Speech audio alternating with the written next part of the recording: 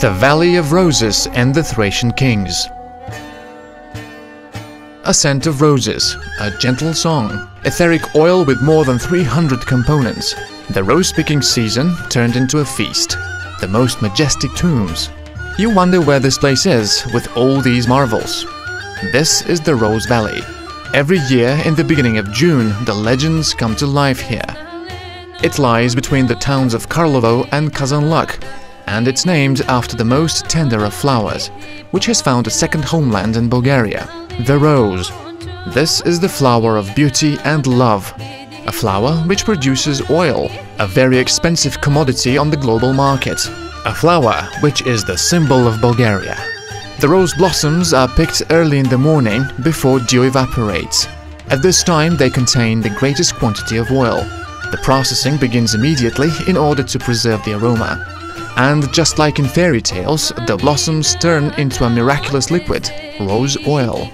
Bulgarians have been honoring roses since antiquity. This is why the annual Rose Festival in the Rose Valley is unique. Women in colorful tunics and embroidered shirts start the day of rose picking with folk songs and dances. Then the celebration moves to town and people select a rose queen.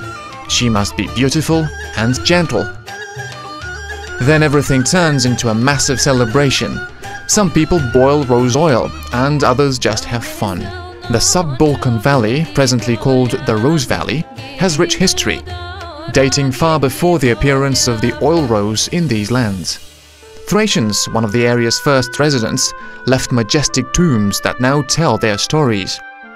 The Golama Kosmatka by the town of Shipka is one of Bulgaria's most majestic Thracian tombs. A very rich Thracian king, probably Seuthes III, was buried here. The tomb consists of three chambers and a corridor. A horse skeleton was found in the first chamber, a marble door with images of people in the second one. And the third one contained a sarcophagus with more than 20 golden items, a golden crown with oak leaves and acorns, the head of a goddess, an iron sword with golden ornaments, and the bronze head of a bearded man with eyes of semi-precious gems. These treasures show that ancient Thracians were skillful masters of fine arts. Today, these amazing works of art by the ancient masters can be seen in various Bulgarian museums. Another location, the Tomb of cousin Kazanlak, is very impressive, with its unique frescoes. The dromos and the burial chamber are skillfully decorated with murals showing moments of the earthly life, the military experience and the afterlife of the Thracian leader buried inside. The fresco called The Circle of Life is one of the masterpieces of Thracian painting.